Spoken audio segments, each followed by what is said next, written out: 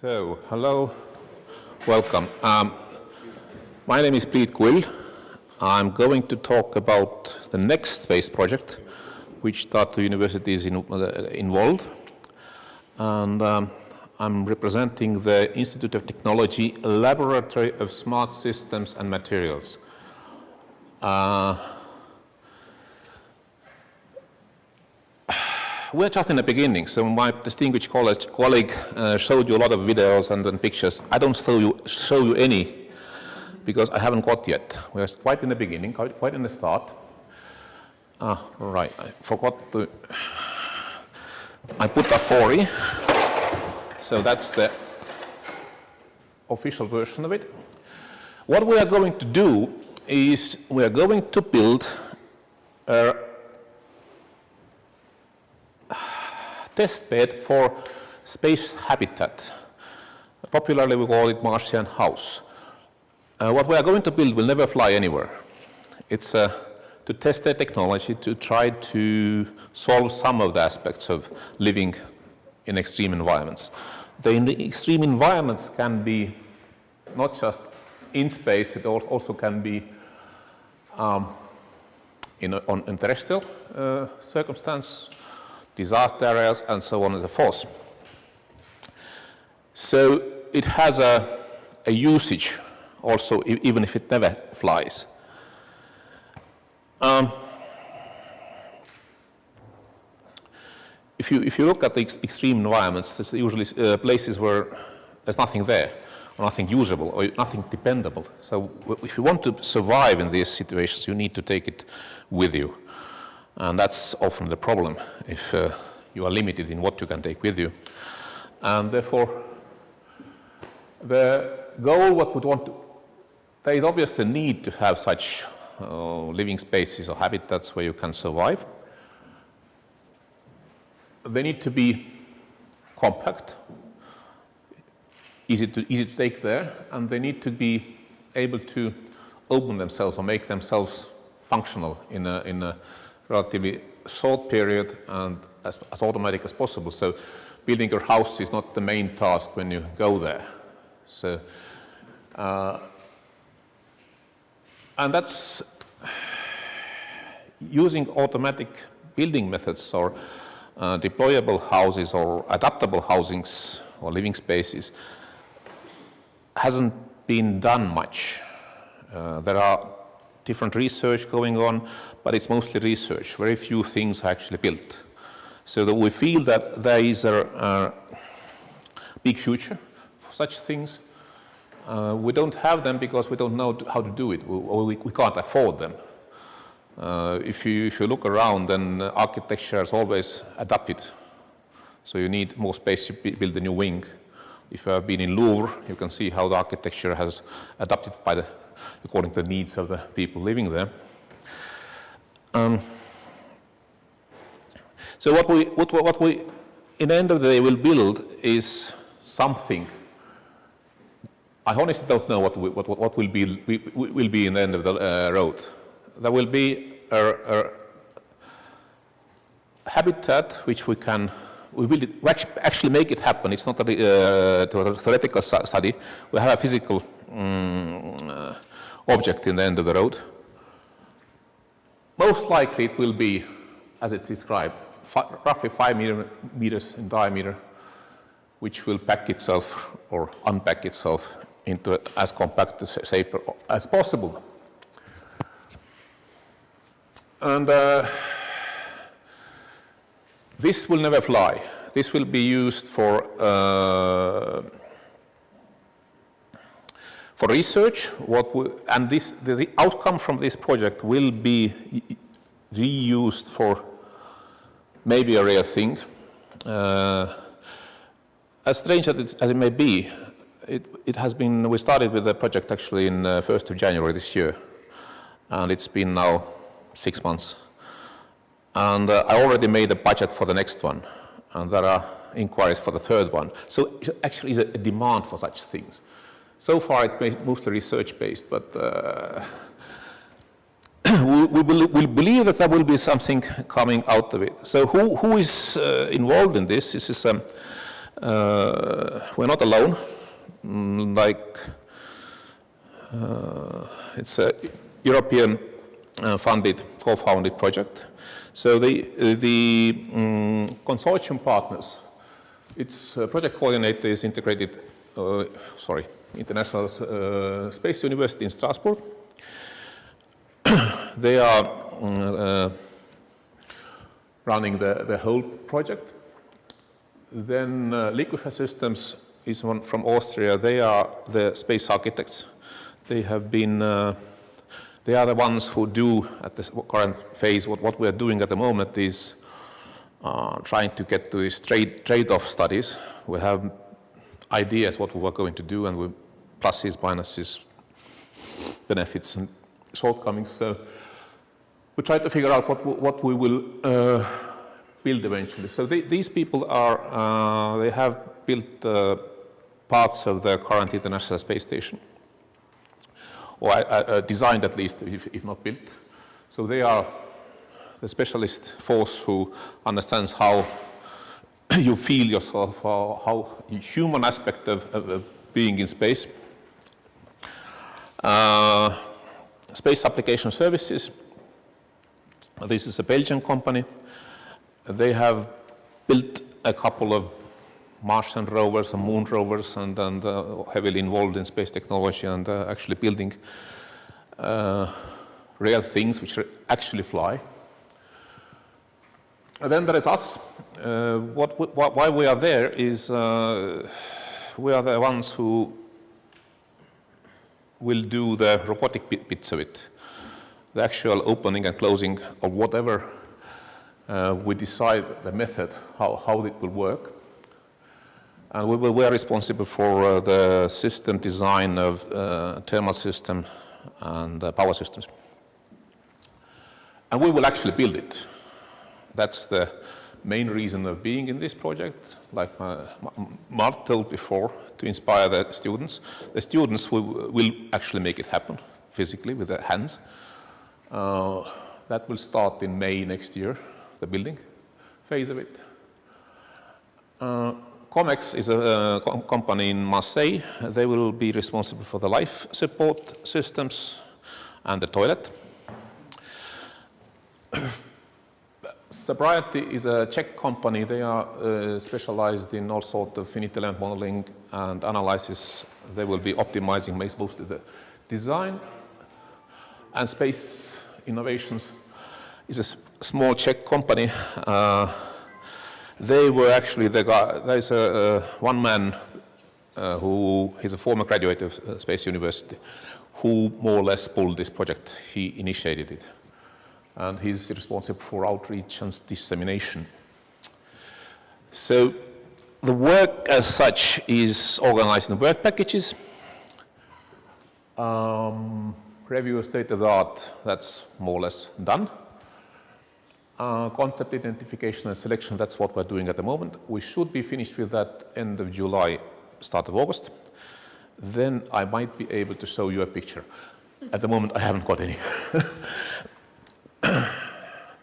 then the, it will uh, be the detailed actual design, uh, optimization, building, assembly, integration, testing, and running.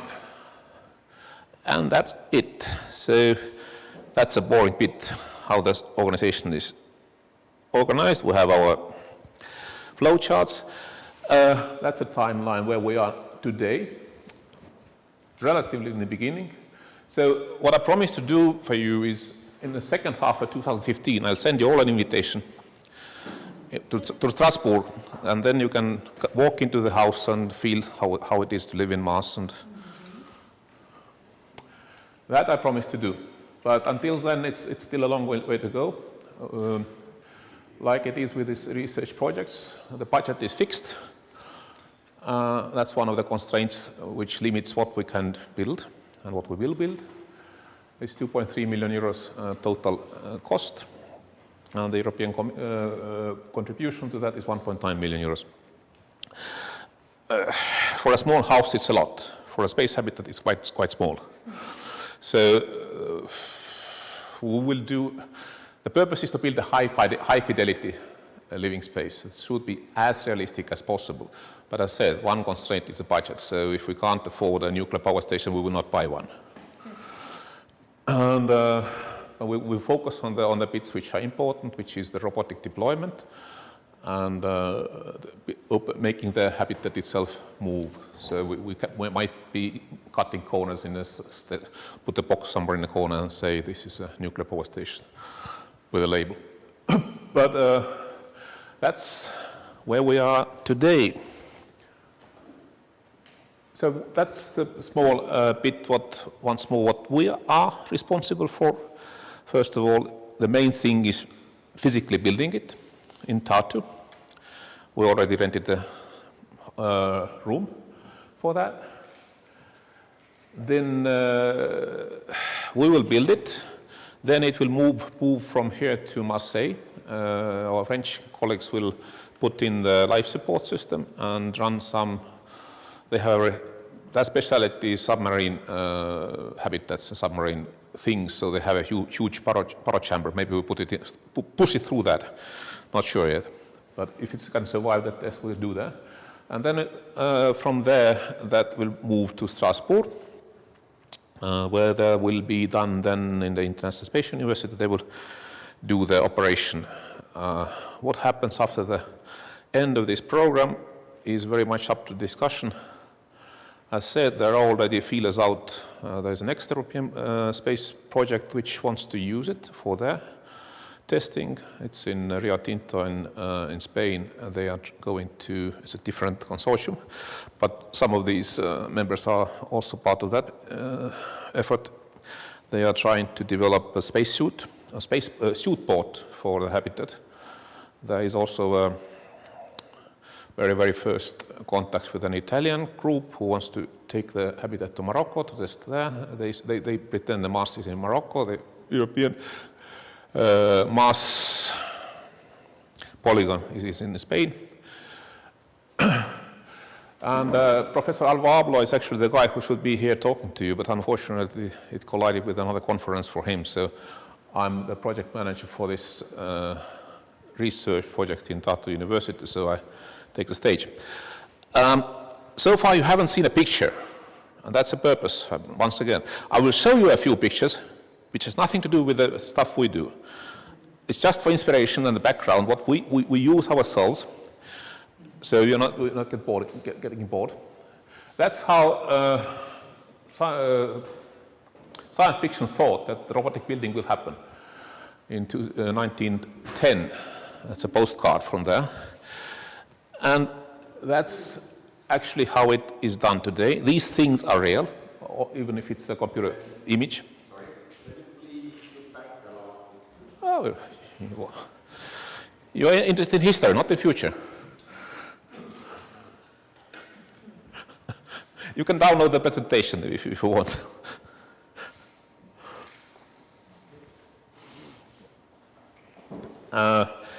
this is uh, a, a, computer image, but these things are real.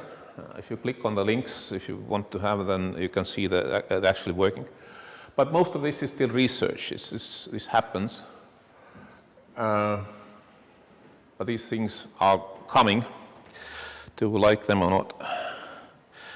So this is more, uh, there is a heavy research going on in printing stuff, everything. Uh, everything I will say in 15 years, 10 years, most of the things you, which surround you will be printed in some sort of 3D printing technology. So there are heavy research going on how to print bridges and, and stuff. Um, that's a research project in, in uh, that's Photoshop, that's not real. the, uh, what they do is they take the ground and mix it with some sort of binder and it, then it solidifies and you can build structures. They have built chairs. They never built a, a bridge. But that's uh, one way of, of, solving the problem.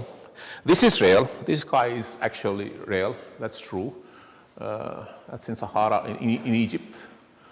Uh, actual machine. Nothing but uh, sand and sun. And uh, he's built a small tent office there, and it actually works using just the energy from sun melt, there's a, the, turn, the, turn the sand into glass, and you can build anything you want, as long as it's from glass. you, can, you can have any color uh, as long as it's black. But uh, this is this is science fiction still, but yes, uh, European Space Agency has um, projects for looking into this technology also to build uh, from local materials uh, lunar base, for example, using this printing-like technology. But this is very far off still. Well, not, maybe, maybe not that, that, far off. This is uh, partly real life, um, which we call adaptive architecture. The house on the left side is, not doing much really, it's just turning and catching the sun, but it's the first step. It's, it's, it's rotating around the axis. The one in the middle is also real. It happens. If, if, you want, probably you can buy one if you want. It's a six by six meters uh, cube where you can live.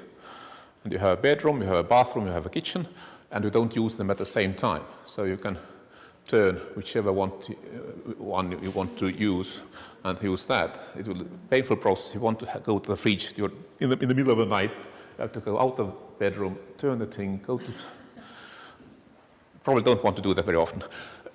the one in, uh, up, up there is, uh, is, uh, is, science fiction. That's not real, but uh, there's a lot of research going on of uh, how to make the architecture adapt, adapt to the changing needs. It's question of can we do that and what will, will, will that cost? So hopefully, end of our project, we have reduced this margin so it, it's more, more affordable. This uh, project itself is for growing algae. And uh, the robotic arm is powered by somehow by the algae. There's a magic element somewhere in between. I don't know how, how they exactly convert the algae into energy, but if you look, if you read the description, then the algae is moving the robotic arm there. and uh, this is uh, inspiration what we use for deployable structures. A simple tent is a deployable structure. Everybody has seen one, used one probably. And there is a lot of, lot of different ideas and a lot of different uh, sources where we can get your inspiration, how to do it. Uh, tents, simple ones, genius ones. The one up there is, very, it's a brilliant one. It's deployed. It's, it works as a, as a parachute. If you can drop down, it's just ready, deployed. There's a laundry basket version of a tent. Whoop, it goes up, very simple. Um, that's fascinating technology, you know, what you can do with simple, very, very, very basic, simple mechanisms, uh, deployable structures. Uh, that's probably the one of the most well-known buzzwords, Chuck Hoberman, and his uh, geodesic dome and deployable structures. The one on a, on a, on a right side, that's a Salt Lake City Olympic uh, scene and the curtain opening and closing. If you watch the videos, it works like magic. Goes away, comes down. Origami inspired uh, thing, methods, many things what you can do, fold together, unfold. There's a lot of science actually involved today in, in, uh, in origami. You can basically take any, any form and fold it. It just takes a lot of, lot of folds. So that we're looking at all these options. Uh, but that's, uh, that's the most likely scenario. Something like this is most likely to, to happen. So we have a rigid structure which we open up somehow, make it bigger, and uh, but it's not certain. But that's probably the, the likely that direction where, where, where it gets.